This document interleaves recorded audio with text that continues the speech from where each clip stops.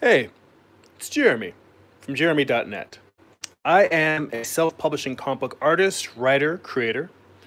If you enjoy this YouTube channel, if you find my videos useful, if you enjoy seeing my creative process here online, you can get additional bonus videos, additional blog posts, get access to my comic book pages and artwork as I create them on Patreon at patreon.com slash G-E-R-I-M-I. If you'd like to get a preview of my comic book artwork, you can see get downloadable PDFs of pages at comics.gerimi.net. And if you would like to actually purchase physical copies or on Amazon uh, Kindle, you can go to amazon.gerimi.net. That will take you to my Amazon author page where you can pick up copies of my current series, Morning Star, which is the story of Lucifer's fall from heaven told as a Western, or my previous graphic novel, Eye of the Gods, a psychological, psychological thriller about a man cursed with visions he cannot control. So, first off, um, apologies for those that follow the, uh, the live stream regularly. I missed last week's episode. I had some uh, family engagements I had to take care of. Could not be avoided. But uh, you know what? Sometimes real life is uh, and family is, you know, well, always more important than uh, just being online. But just thank you for the patience for those that uh, that follow weekly and we are back to business as usual. So, we will start with it's the start of the month, so I have all of my figure drawing work from the previous month of uh, of July. There might be a little bit of stuff in here from uh, from the end of June. For those who are new to the channel, I attend figure drawing classes weekly at the Animation Guild in Burbank, California. I am still growing and learning as a comic book artist, as a, comic book creator, writer, artist, and I feel like it's very important to share the process that, for me, learning is an ongoing thing. I see folks already popping up in the chat. I see uh, our regular Star stalwart Ion Rocks is here. He says, "Okay, I forgive you. I appreciate your forgiveness. Namaste."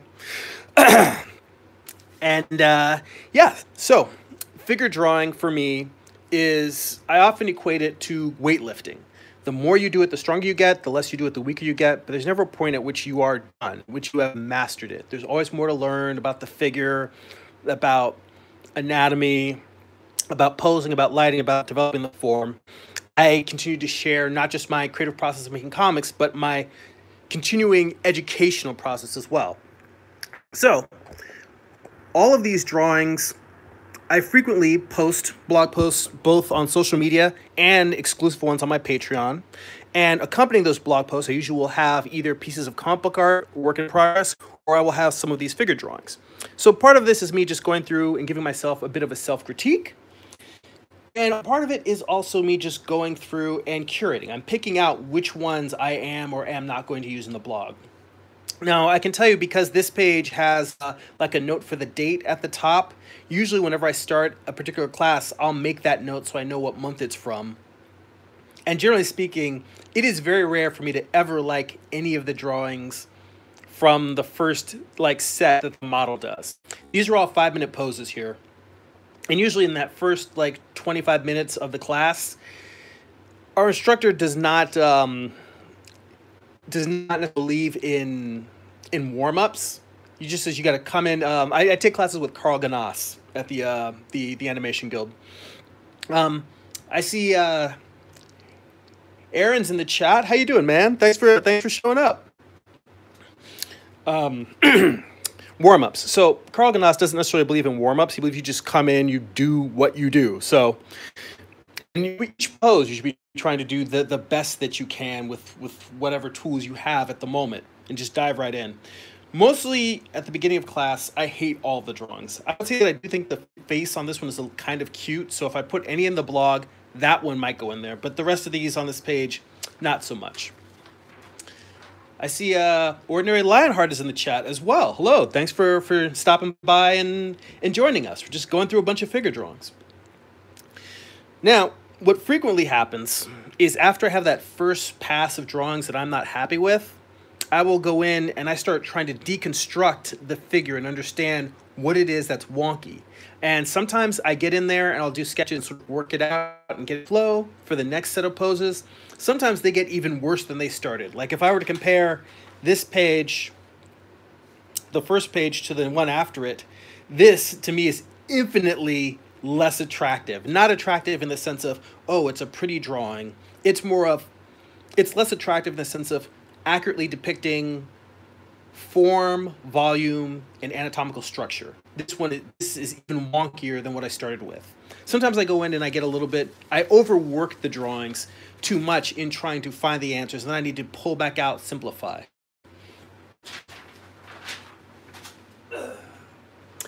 And I would say that this is me trying to pull back out and simplify, but even with these poses, there's still none that I would consider worth including in my, uh, my blog.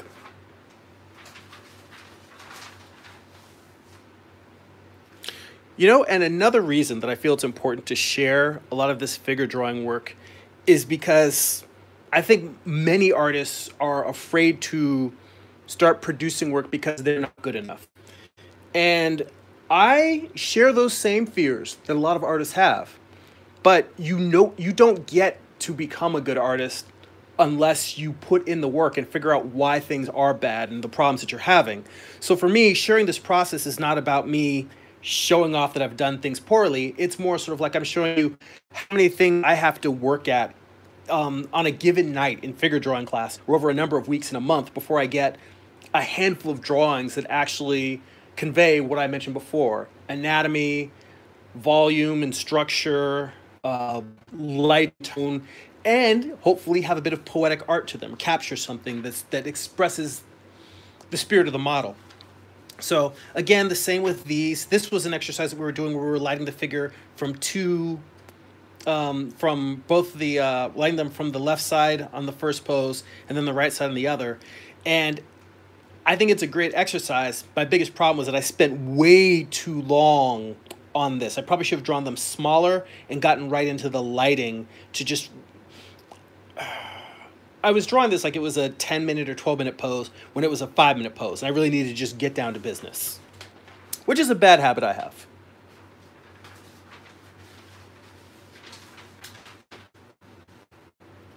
Now, this here for me is what I consider my uh, my biggest tool for problem solving when I'm working on figure drawing or when I'm working on anything for that matter, is doing cross contours.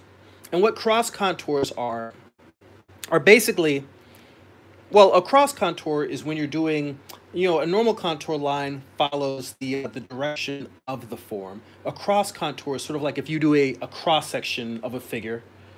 For instance, you know, I should really just make sure that whenever I'm talking about figure drawing, I have my figure drawing pencils out on the table in case I want to demo anything.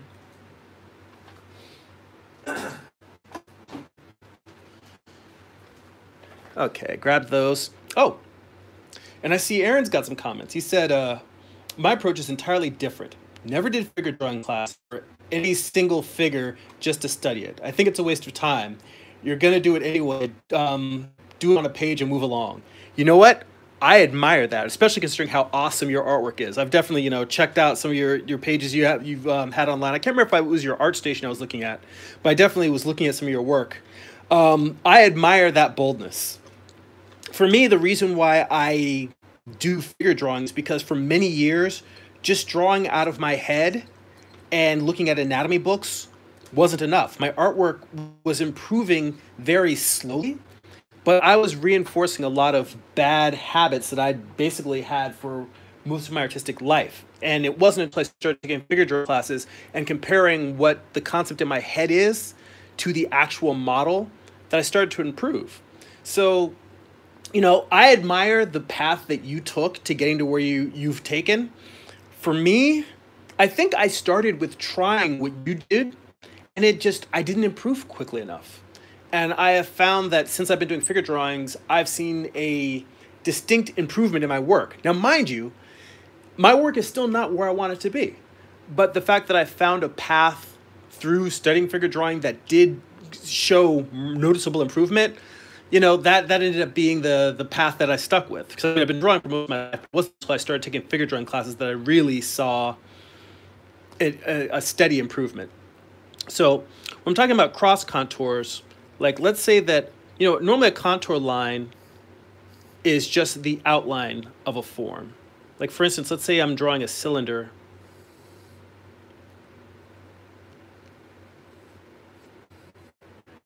You know, the contour is the, the outline of the cylinder. Now, you could say that these lines, like if I were to put in some lines like a 3D grid, you could say that these lines are also contour lines because they're running parallel to the, the main contours of the form. A cross contour would be as if you were drawing a cross section or if you were drawing a grid like a 3D um, wireframe. That's kind of what a, you know, that's what a, the cross contour forms. Whatever it is, it doesn't matter whether it's a car, a human head, a figure.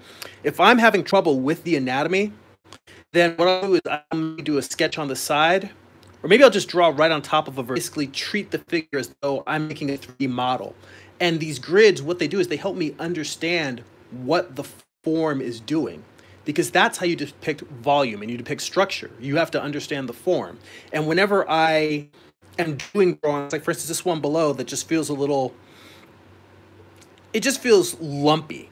It doesn't look completely expressing what the figure is doing more nine times out of ten, the reason why I have that problem is because I don't understand what the form is doing, meaning these cross contours. Now, the idea is that once you draw in these cross contours, you can take what is a cross contour. Like let's say this large mass on the cheek. The way that it's here with this, this grid on it, that grid can represent, Have to move these books over a little bit let's say that this egg shape here is the cheekbone. Now, if I very lightly, I don't know if you'll be able to see it, but I'm very lightly putting in sort of that, that egg-shaped grid. But what you can do is that grid can become a representative, a placeholder for tone. So you want to say that, let's say that the, the core shadow, let's say it starts turning away from the, the light right around here, and then it goes into shadow over here and then you get a little bit, it lightens up a little bit, and there's a little bit of reflected light down here. Really, all I'm doing is I'm just taking those cross contours and I'm turning them into tones. And that's how you can depict volume. That's how you can, it can help you understand the volumes that you're struggling with. So this is just something that I have found useful when I go and I analyze my own drawings. And it's not necessarily that I will grid this out on any drawing I do. I actually don't do this very often. I use it as a diagnostic tool when I'm doing a drawing and it's not coming out well. I see uh, my nephew Clay in the chat. How you doing, Clay? Sharing some figure drawings with folks online. this is what I do every week. I go to a figure drawing class and just run through uh, all of the work that I do there. So that's cross contouring.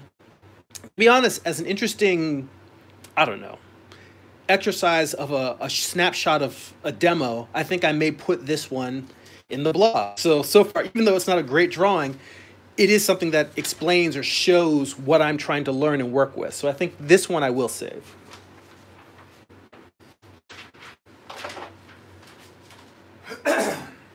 Pardon me for a moment while I have a, a sip of coffee.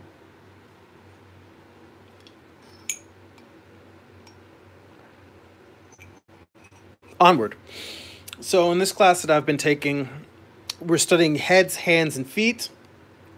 And so here are a bunch of five minute hand poses. This one is just, again, much like the heads, when I start with my first set, they are usually pretty wretched. So this one I'm not a fan of.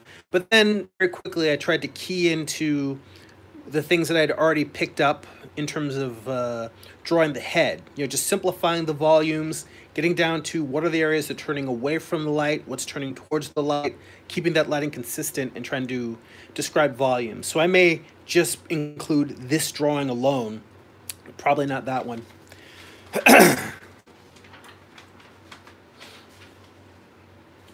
and something that I've noticed through this entire month, really this entire semester of figure drawing classes, is that I've spent a lot more time, a lot of drawings that are kind of half finished or I don't get into close enough to completing them. I've been spending a lot more time laboring over the drawings, analyzing them, trying to think through and fix what I'm doing wrong, instead of just diving in, making the drawing, and then assessing and fixing the drawing, erasing here, adding there. and so I think that's something I need to try and get back to is getting down to the basics and making the drawing, even if it's not a polished drawing that I would, you know, say this is like a finished illustration that I would sell or something, but just trying to get all of the elements that explain what I'm trying to describe, you know, making sure that it feels like it has all of the, the outlines, all the forms blocked in, the basic lights and tones, the basic anatomy.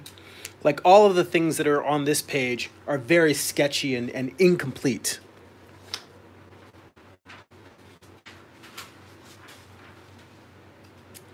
Now this one is sketchy, but it does feel like it has all of the volumes. There's problems in here, the anatomy of the thumb, particularly the upper part of the thumb is way too squashed out and flattened. It doesn't feel volumetric enough. But um, turn the light a little bit more towards the, there we go. But yeah, even though this thumb is a little bit too squished, it's the problem is that it should be larger and wider in here, and it's a little too, it's just be larger, that, that upper phalange.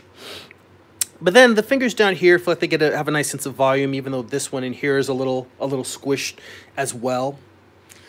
Yeah, it's not horrible. It's not good enough to go in. If I had fixed those anatomical errors there, I probably would have put it in.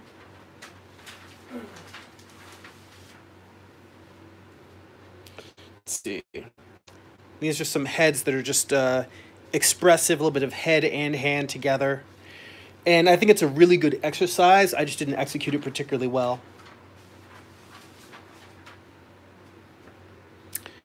This one is closer. I like it better, but still not. It's just better than, it's still not something I would say is a great drawing. It's just better than the, the first passes of the same concept of the head and the hands together framing each other. But uh, again, that's me belaboring it in five minutes instead of drawing something really quick um, part of it is that I tend to take classes that have longer figure drawing poses instead of doing much gesture drawing. So, I mean, yes, every drawing starts with a gesture, but I think that because I haven't spent as much time doing just gesture drawing in classes, that I may take five minutes getting around to just get locking the gesture in instead of locking that in in the first, like, one, like, first minute to 90 seconds, and then getting into adding all of the additional volume and anatomy. Let's see.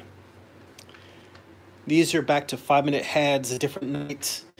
And again, like I said, the starting out poses, even though I may be getting some of the, the actual mechanical structures of the face, they still don't feel particularly fleshed out. Let's see.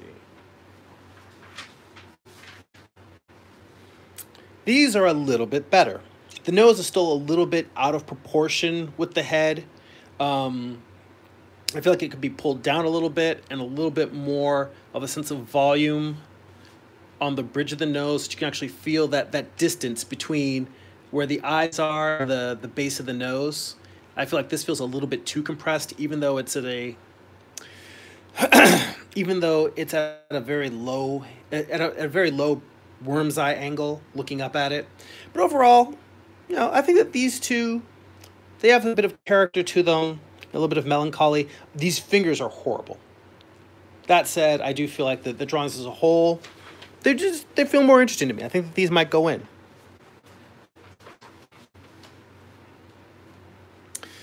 Now this one is interesting to me just because of its simplicity.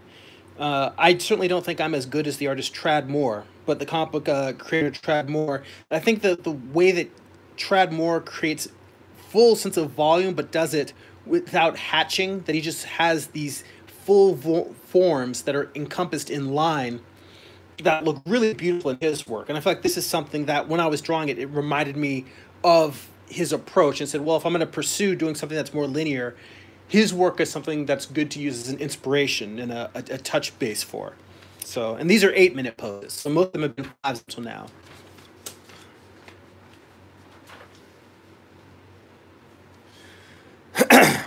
and then this one, yeah, this one, another eight minute pose.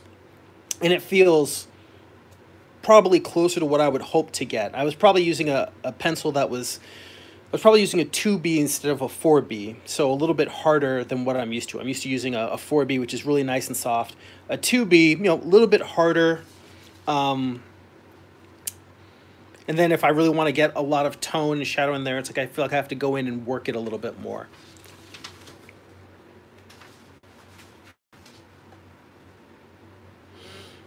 And I think this night, this was a little bit longer than eight, and I was just sort of getting into almost Moebius like, just experimenting and, and playing with it, being a little bit more cartoony. And I will tell you that even though this drawing feels a little bit more finished, I don't really like it that much. So I don't think this one will go in.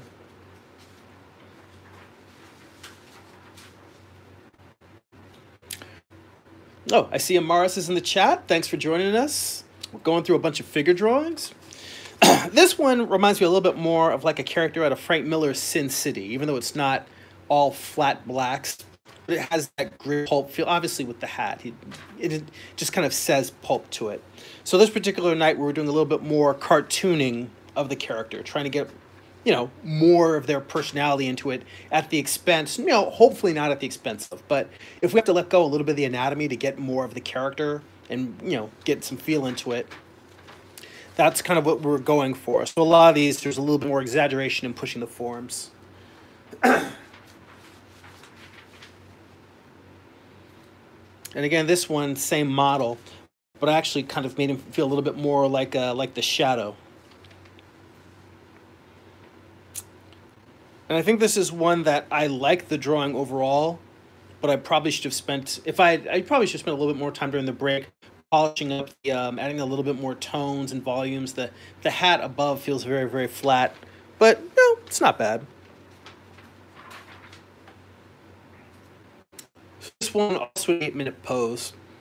Again, exaggerating the character and the feel, but this to me probably feels the most complete of a drawing that I usually do in in figure drawing class. Um, I would say I usually if I do if it's longer than eight, if I'm drawing during a break, I put a little plus there. So it's an eight plus. And this was probably something where it was an eight minute pose, modeled on a break. So I maybe had like another five minutes to add in different tones and, and balance and, and and details and finish it up. So in the end, you know, we're looking at something that's more like, you know, a 12 minute drawing. So not bad for 12 minutes. This one will go in the blog.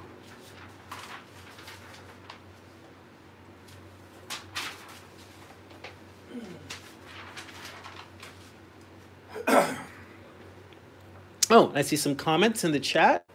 Amara says, um, designing an artist backpack. Because um, I could figure out then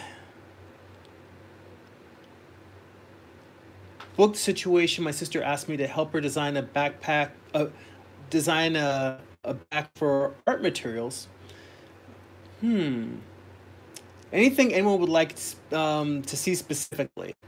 Oh, a back for art supplies. So I guess she's asking if you were going to have a, a backpack for art supplies, what would you want to see? Well, ideally, I would probably build the backpack around being able to hold a small art board. Or actually, an interesting idea would be to, if you were to make an art board that has straps, like a, a small board, a small art board, let's say like a, a 12 by 18 or 11 by 14 art board, maybe if you were to build that into the backpack so that when you take the backpack off and you take the straps, you flip it over, and then it's got a drawing surface, and then the other side of the back is almost like a cushion to sit on your lap. Um, yeah, I think that having an, an artboard built into the backpack would be pretty cool. And then beyond that, you might want to have it something where it's got like customizable pockets that can hold different sizes of art trays because everyone's got different stuff they're going to have. Some people are going to be painters and going to need tubes and brushes. Some people are going to be all pencil. Um, I don't imagine you'd really need an art board if you're drawing on an iPad Pro. But I think something that would allow the most flexibility for the most number of artists where they can set up their gear and have them all stored away. But also, I'm the type of guy where I've got a large art bag, and then within that bag, I've got like, you know, pencil cases for for figure drawing gear. And then, see, where is my art bag?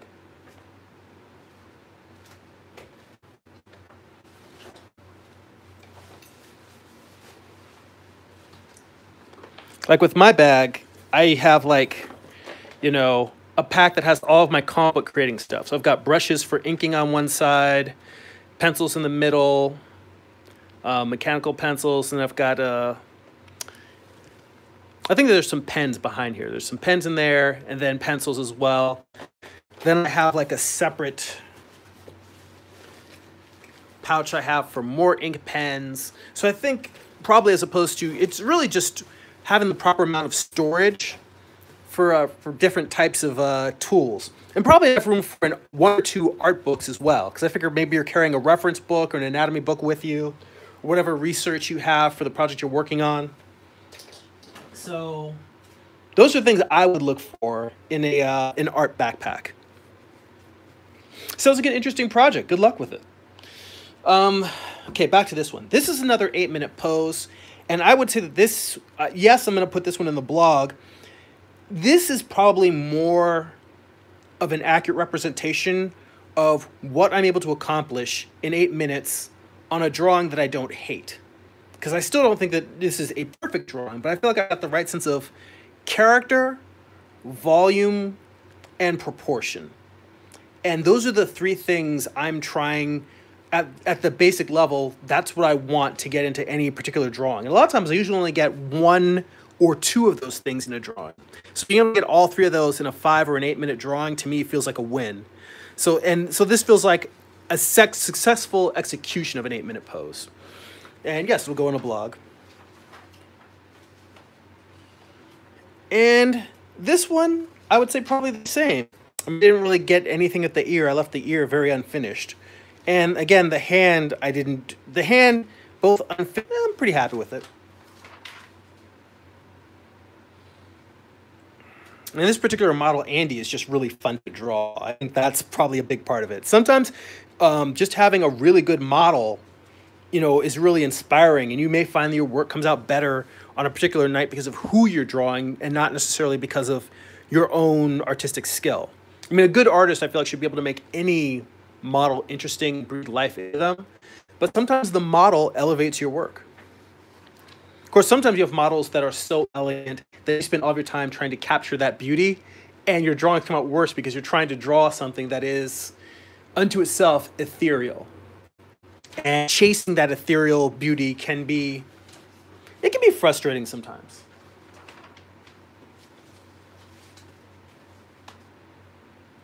It's like when you're drawing and you're like my, my drawing will never look as good as the model actually looks. Um, i think these were yeah these are two minute poses of just expressions. So super loose super rough I mean, these are pretty much gesture drawings, but they're gesture drawings of faces. And it's not that I wouldn't put a two minute pose in on my blog, it's just that none of these feel like they capture anything interesting enough that I really want to put it. Well, you know what? This one. The fact that's, I don't know how the hell I got all of this in two minutes and had time to shade in and block the uh i think that the pose this must have been the last pose of the night because there's nothing else on here and i probably filled in the rest of this after I got the, the head in, I probably filled in that framing device and maybe added a little extra tone there. But yeah, this one I'll put in. Um, I realistically, I even though I don't remember it, I'm betting this was a two minute pose that I worked on for probably about five minutes. Oh, and I see Travis is in the chat. What up, Travis? Thanks for dropping in.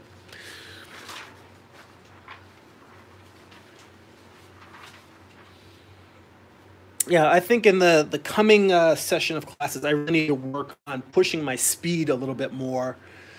I go back and forth where I spend time drawing slower and be late and go back to, you know, trying to just get everything in, into the page at one time. So, you know, this particular semester, I've been going slower and I'm going to try and speed up and just see what happens. Let the drawings get a little wonkier and, and fall apart a little bit and just go back and forth.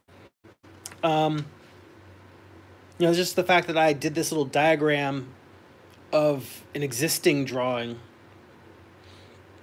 Like I drew this one in class, which wasn't bad, but it feels very flat. There's no sense of volume in the actual eyes, and I think that maybe this eye is just a little bit too high. Like by just the, width of that line down a little bit more would be perfect. But point is that the head felt a little flat to me, and then I came in here and tried to draw and put more volume in it, And A, I kind of messed up the roundness of her face because it was more round. I've kind of narrowed it in the uh, in the around the mouth. Also, the fact that I put a little note in there that I also didn't get that her head was tilted down a little bit more. So, you know, these are the little subtle things that I'm trying to be aware of when I draw because if I can identify them, it means that I can fix them in drawings as I'm making it. And uh, Travis said that frame, uh, that frame brings the head forward. Oh yeah, yeah. The the last pose that I had with the uh, the frame behind it. Yeah, I mean that's the reason why I drew it in there. It really made the drawing go from just a quick two five minute sketch into something that that pops. So and and you know in theory you could do that with every single drawing, and some of them it'll work, some of it won't. I actually don't tend to do that framing that often in figure drawing class. So I think when I do draw something like that, it's it's noticeable to me, and I think it really helps. And uh, when I mentioned before about uh, that previous drawing. That was what I thought was a good version of what I hope to get done in a eight minute pose. This to me is a good version of if I'm drawing heads. This is probably a good example of what I hope to capture in a five minute pose. I am not sure where the streak that's along here came from. Maybe there was another piece of of charcoal that got caught in between the pages and made a, a stripe, you know, a stripe across there. Overall, the fact that this feels like it's not overly labored. Um, the only parts that really jump out and call attention to itself is around the nose and mouth, which, being that it's a whole head, the features of the face would be the one thing that I would want to bring attention to. It doesn't feel like there's a, a out of doesn't feel like there's a large discrepancy of balance in terms of the level of detail. It's just about equal detail overall, which is a little bit of more detail in terms of hard lines, drawing your eyes to nose and mouth. And, you know, definitely trying to keep the lighting consistent in terms of the lighting coming from the left side, you know, the back and the shoulders lit. I probably could have used a little bit more of shadow on the outside of the hair along here. But overall, I'm happy with this drawing. This feels like for five minutes drawing ahead, this is what I get in. Um, the fact that I didn't have to draw the eyes because her hair was covered by the eyes made a big difference because you can, oh, that little thing over there was just, I don't know what that is. It's just something sitting on the surface. So no, there isn't anything on there. Hmm, it's just a drawing. There we go. but a lot of times I could easily spend one or two minutes just drawing, just drawing eyes because, you know, eyes are the window to the soul. They're the thing that we look at. So when you look at them and they look wrong, that's the thing that you spend a lot of time trying to fix. And to be honest, even though I should get better at drawing eyes and drawing them quickly, on a lot of my figure drawings, if the eyes are open, I will leave them almost ghostly, like empty pupils, because I know that if I sit there and draw them, I will get caught up and I'll spend the entire pose just drawing the eyes. So I actually give the eyes kind of short shrift, and that isn't healthy. I should know how to draw all of them even the things that are challenging and be able to do them quickly and simply.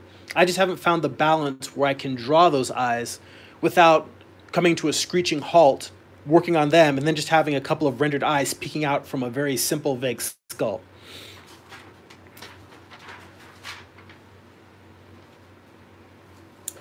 A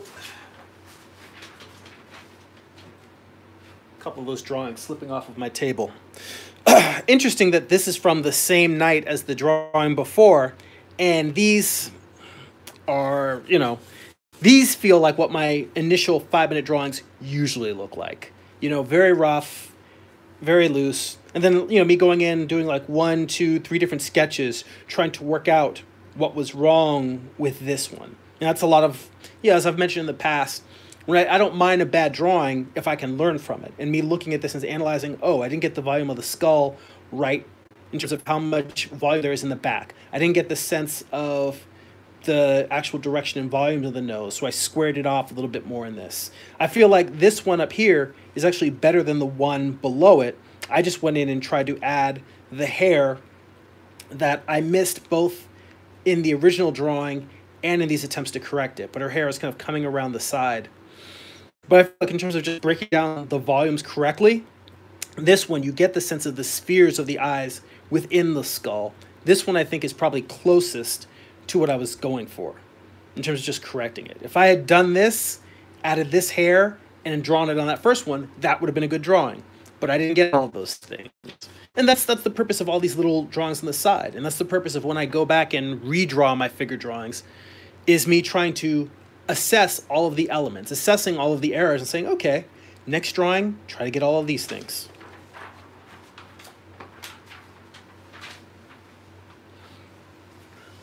I see uh, Travis said um, that I captured the emotion of the person. I think we're still talking about that previous piece where I had the black frame around it, and I appreciate that. Thank you very much.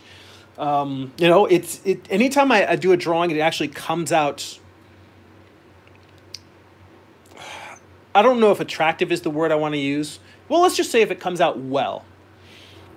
I think that I'm surprised. I'm appreciative because I know that I'm always fighting like many artists. That's a really interesting thing. People talk about the thing of like, is talent? My wife got me this awesome mug. It says, please go away. I'm drawing.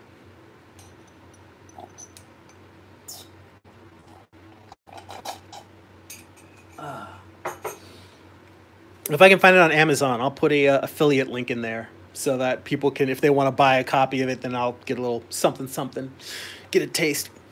But oh, what I was gonna say, talent.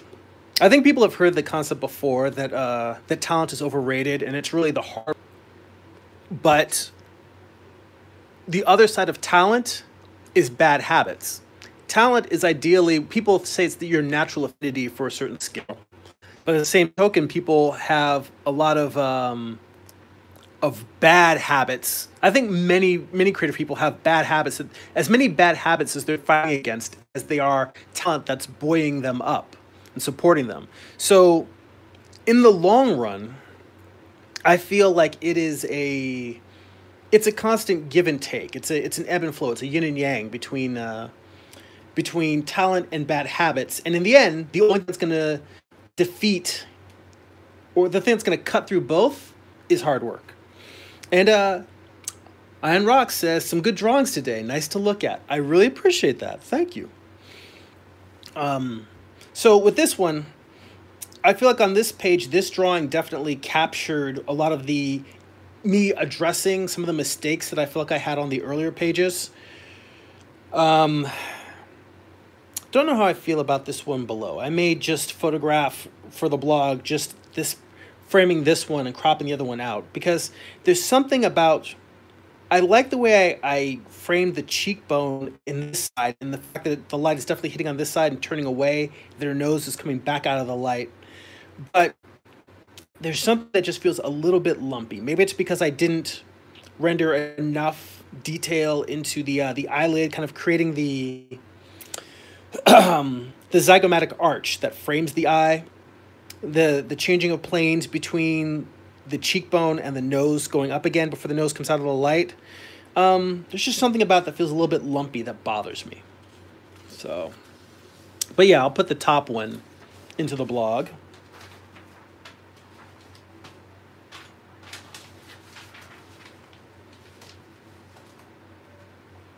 Let's see. This is a pretty big stack of drawings, but we're going through them.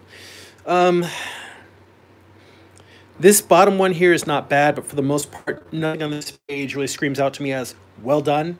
These, these are back to loose, just getting in the, um, trying to get basic proportions and structure. I think the places where I went in with tone to try and describe form lighting probably being laid on top of drawings that still weren't structurally well done. They weren't completed or finished but this is the other reason why I tend to labor over drawings is because a lot of times I'll proceed onto this stage knowing that what I've locked in is still not very solid and it's not very good yet. Um, and I feel like that's the thing that keeps me working on just the basic proportion and volumes and leaves drawings feeling loose and sketchy because I'm trying to get the, the basic structure in before moving on to, to tonal work.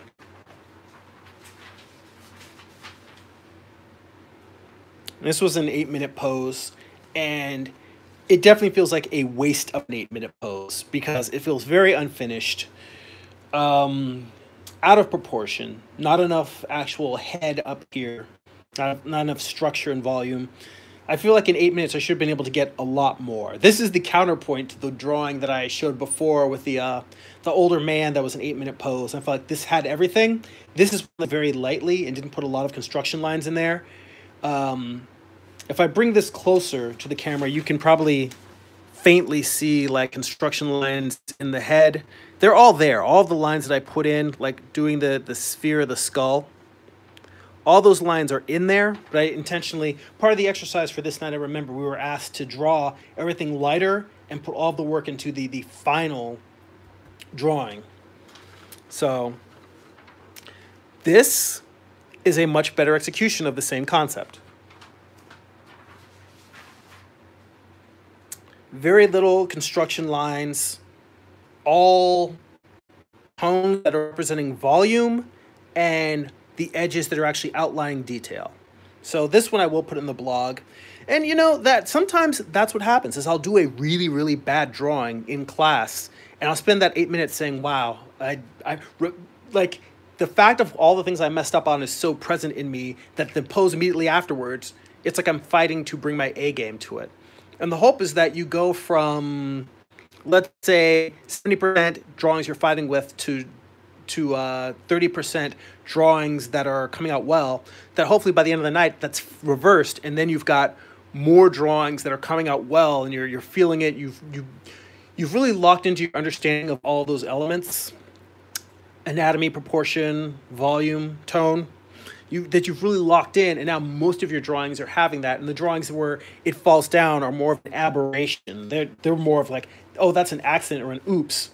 and a lot of times later in class, I may not necessarily ask the instructor because I realize the reason why those mistakes happen is because I wasn't paying attention and that's kind of the crappiest thing is I know, oh, if I had really paid attention to what I was doing, if I had been completely focused and my mind wasn't wandering, I could have made a good drawing.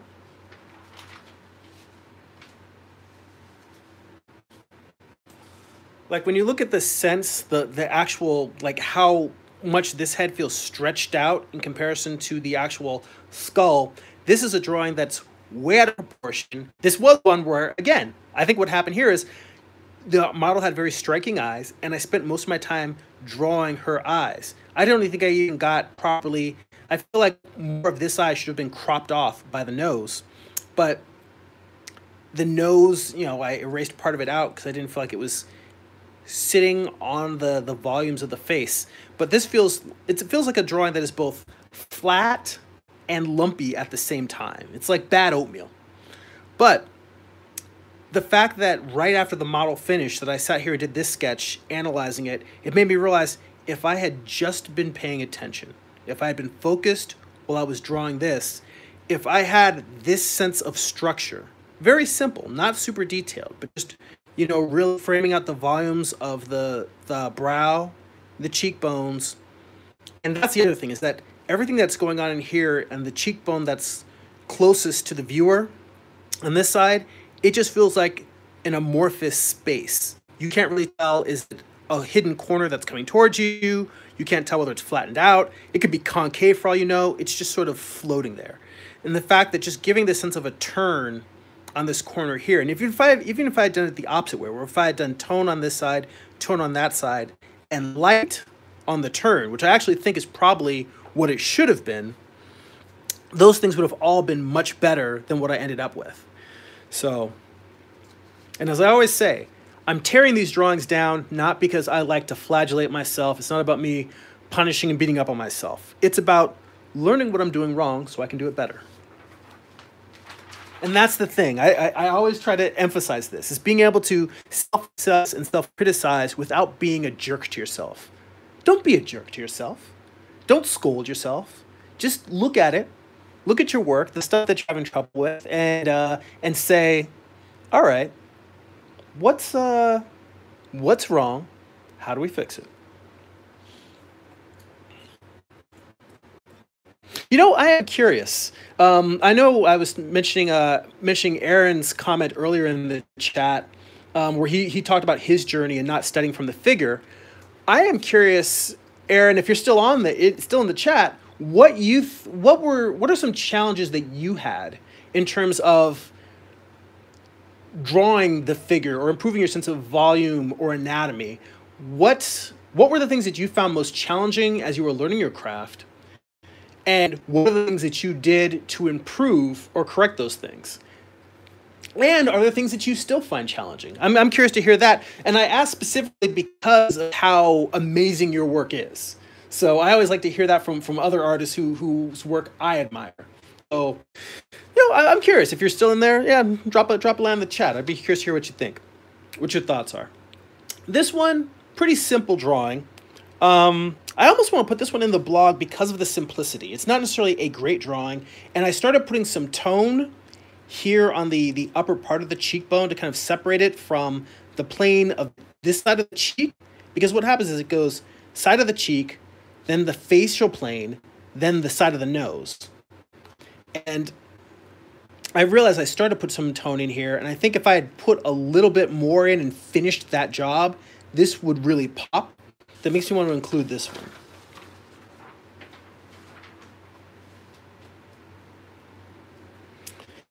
And this one, not a bad drawing. Um, I think I was still dissatisfied with um, with the way that the amount of detail that was laid out across this figure, the way that the amount of detail was distributed. Because we know I mentioned before putting detail just around the nose, the eyes, and the mouth to draw the eye in. And it feels like these extra lines I had in here, yes, I needed to clearly define the separation between the hair. Like I made the hair such a defining form of the figure because she's turned away. But I think that hard line really distracted and drew the eye into the center of the form instead of pulling the eye towards the, the face. And that's something that you want to keep in mind is that you can use detail, particularly hard lines, to direct the eye, not just in terms of clear. If everything else is kind of soft and you want somebody to see, let's say it's not their face, let's say they're holding a gun, you may put hard lines and distinct lines around the hand holding the gun and the gun itself. Or let's say that maybe they're a police officer and you're looking at them and you don't want to draw attention right to the face, but you want to draw, they, maybe they've got their badge on a, a belt buckle. And maybe that right around maybe it's framed by a suit jacket. You've got hard crisp lines there and then detail in hard lines in the the badge that's on their belt. You know these are things that are visual tools you can use to direct the eye. And interestingly enough it doesn't, i don't think it works the other way around where if you have hard lines all over the figure that whatever is soft draws the eye. Now i haven't tried that as a compositional tool because generally if everything is one way if everything is is um, cool blues and you put like a bright red or an orange if you put that in an image generally whatever is different from what surrounds it is what stands out. So logic dictates that a soft area when surrounded by hard lines still draw the eye but for some reason i haven't tried that and tested it in a composition myself so it's something that i want to keep in mind who knows it might be an interesting compositional tool generally what i find is soft, hard area, hard lines, or dark areas, or contrasting areas jump out when surrounded by soft areas and areas of low contrast. Anyway, I don't think that I'm going to put this one in the blog.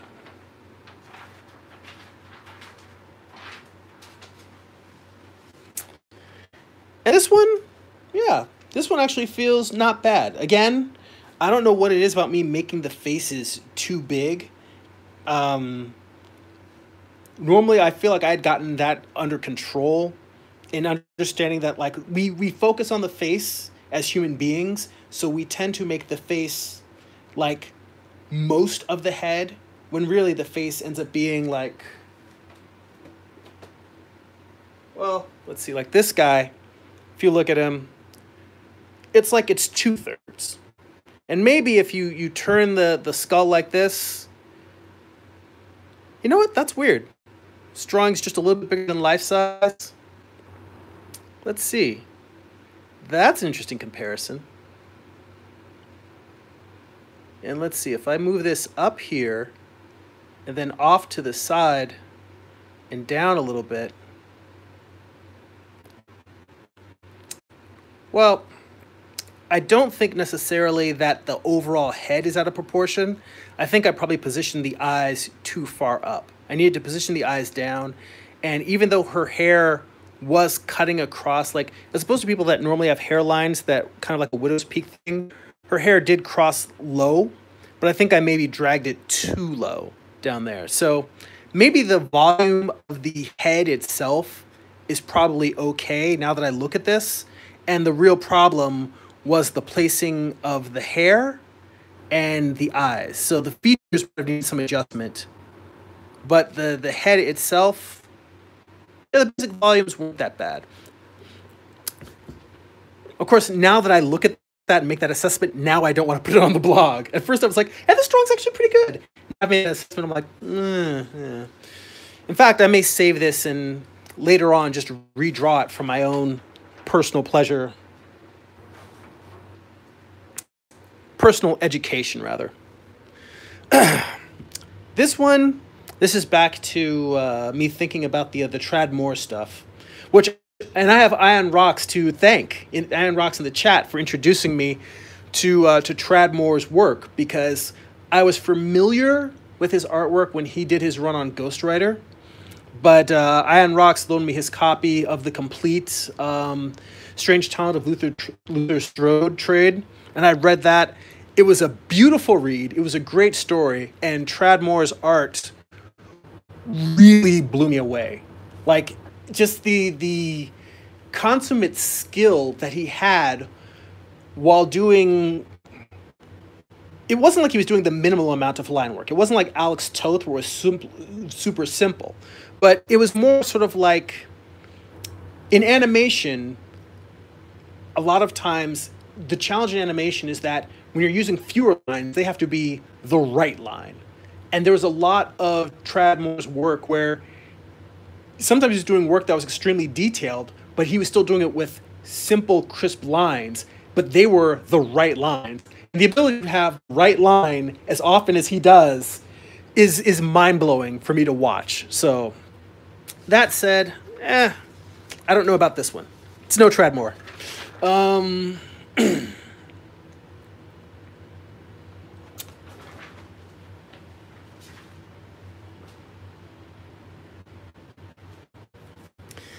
This one I like a little bit better. Simpler, you know, lighter tones. I probably could have maybe darkened in again around the features to draw the eye in a little bit more. And these are all things that I know cognitively, but I don't necessarily think about while I'm figure drawing because I'm trying to move as quickly as possible.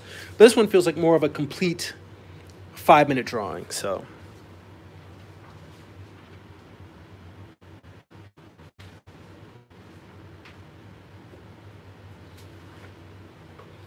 All right, we're getting down to the last few drawings here. Well, there's probably maybe 10 more drawings. And we also have about, we're at 53 minutes. So we'll probably finish right at about an hour as usual. If you guys have any questions before we, we wind up, make sure you throw them in the chat and I'll try to get to everybody before we wrap up.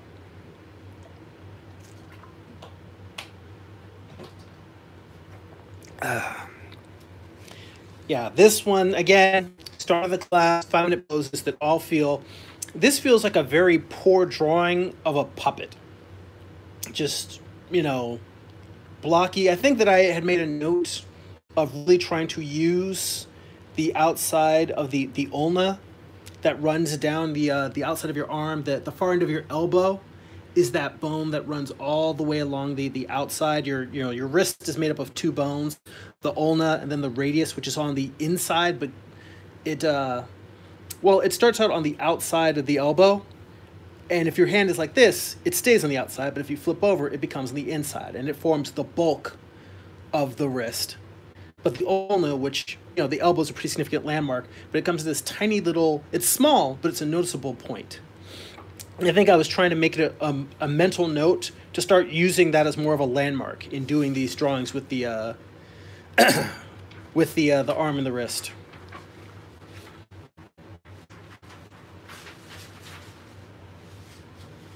If any of you have, take figure drawing classes in the LA area, you guys will know the, the great John Mackey, figure drawing uh, model, actor, performer. And these were some poses he, we were uh, studying from him that night. And, you know, I don't know how I feel about this one because I feel like it's not a bad drawing. It, it's it captures character and performance, but there's still some little. Honestly, it's just the turn from the wrist, from the actual palm, into the wrist that bothers me a little bit. Other than that, I'm pretty happy with this one. So maybe I'll put this drawing in. And I do like this one of him down here sleeping. Um, still has some similar problems, but I, I, like it.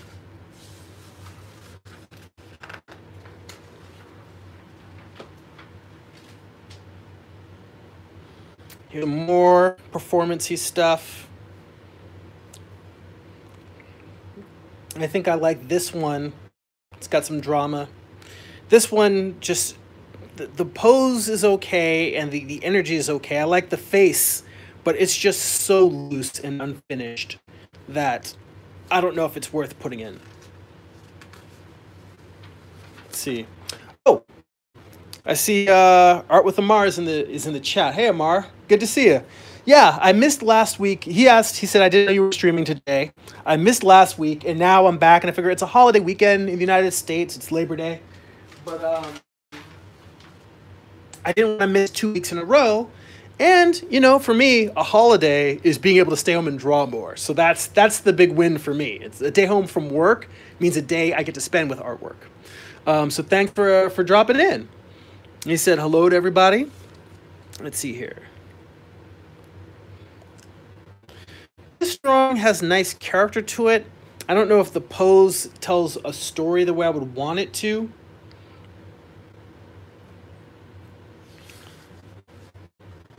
But, uh, let's see there. I don't know. We'll put it in the maybe pile, which usually there isn't a maybe pile. If I have to think about it, the answer is no.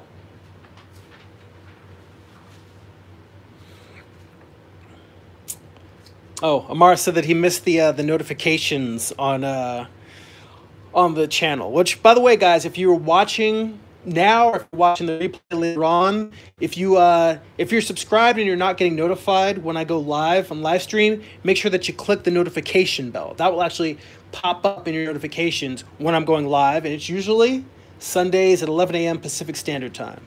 So, all right, and then this one again, some character performance work. Um, there were great costumes and we had great poses, but none of these feel particularly great to me.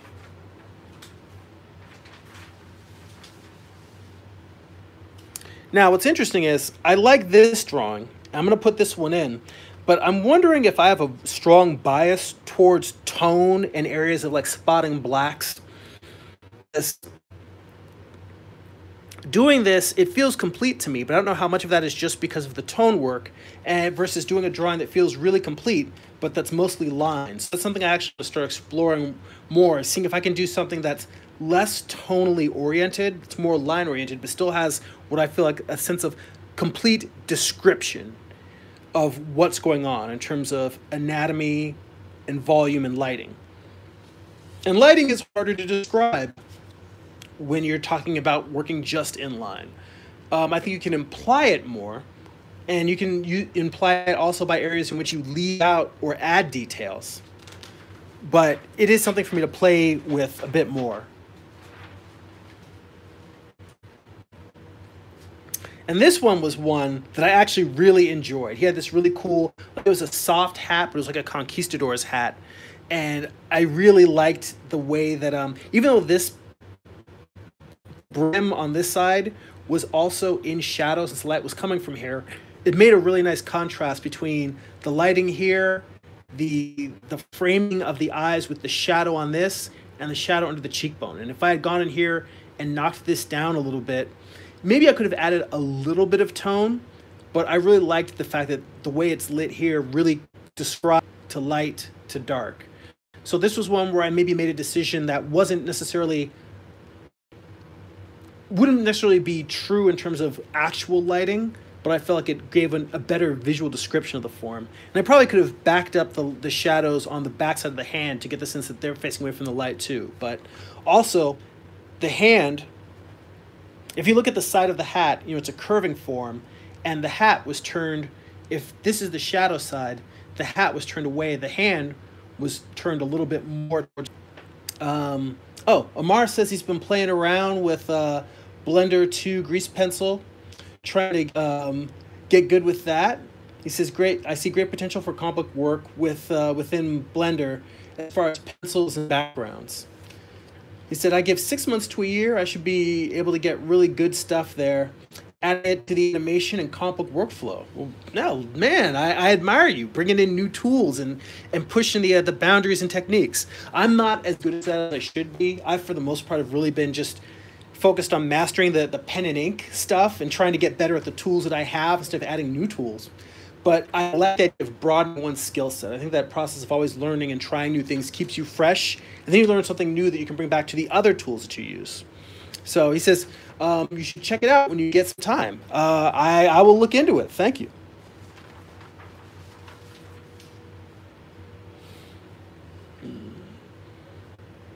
So let's see here.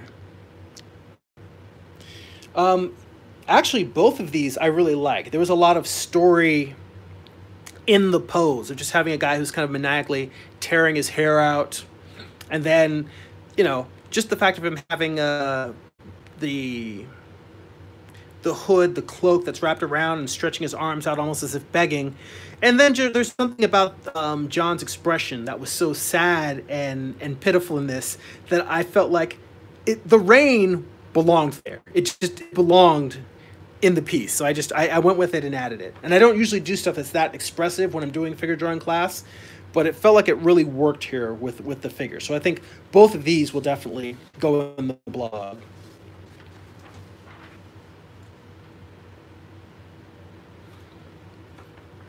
And uh, let's see here. On these, this was pretty loose. I don't feel like I got. I'm not sure Usually I'm able to assess what went wrong with the piece. And with this one, it just had me the whole figure, trying to pay attention to the head, working on the lighting. I think I was more concerned with trying to make a complete drawing than I was the actual details. So this was one where it's an okay drawing, but the proportion of the arm is definitely way off. Like this arm is way too large and sticking out too high above the, uh, the head. Like I almost drew it as if you're looking straight on instead of the fist coming out towards you. So the proportions are off. Um, you sort of get the sense of the volume of the head, but I think I had to decide here how much do I want to describe in terms of what I'm seeing in the lighting, in terms of how it's framing the head versus what's going to actually describe the front plane versus the, the side of the head. Whereas this one, very simple drawing, and I lost that whole arm on the side, but I decided that I wanted to really focus on just getting the head and the hand and there's more of a shrug that was going on in the shoulders, and I don't think I got that. But I really like how soft and blended. Maybe this kind of ties into that grease pencil thing that uh, that Amar mentioned, but just how soft and blended these um these tones are in, in on the figure. And that's one of the things where using a four or a six B gives you some on a, a paper that's a little bit. This is a um, a smooth uh, newsprint. That's one of those things that you get where the pencil becomes a little bit slicker and it gives you like a nice soft blend, nice Gaussian blur to it when you're uh, you're blending stuff. So just because I like the way this drawing came out, I think this is going to go in the blog. And then this was my last drawing of the night, and it was not a great drawing. Sometimes you don't end on a high note. I think I was throwing so much energy into all the other drawings, and then I got to the end, and this last little drawing didn't really do much for me.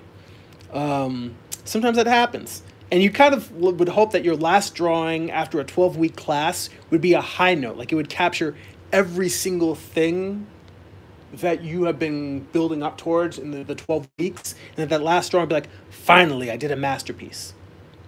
Sometimes you get to the end and you say, hey, I still got a lot of work to do. That's what this drawing tells me. And that's okay because I'm going to keep doing it. All right, so that's it for my figure drawings from the uh, the previous August, a little bit from July maybe. So guys, thank you so much for joining me for this live stream on this uh, holiday weekend. If you would like additional bonus live streams that are exclusive for my Patreon, I do an exclusive um, live stream one per month. You go to patreon.com slash G E R I am I. If you would like to read some of my comic books for free, you can go to comics.gerimi.net. If you'd like to purchase some of my comic books, my uh, the first four issues of my comic book Morning Star, uh, which is Lucifer's Fall from Heaven, told as a western. Volume, you know, volume one, as well as my previous graphic novel Eye of the Gods, both available on Amazon. You can go to my Amazon author page, go to amazon.gerimi.net. So, guys, thank you again for joining me. I really appreciate you spending time. I appreciate the feedback, the conversation in the chat. You know, as always, it's great. That's it for now. Go be creative.